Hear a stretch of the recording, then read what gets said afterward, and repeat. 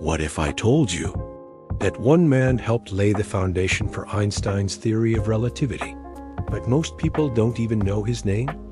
Before spacetime in E equals mc, there was a Dutch genius, Hendrik Lorentz. Born in 1853, Lorentz was obsessed with understanding light and motion. He developed what we now call the Lorentz transformations, complex equations that showed how time and space aren't fixed.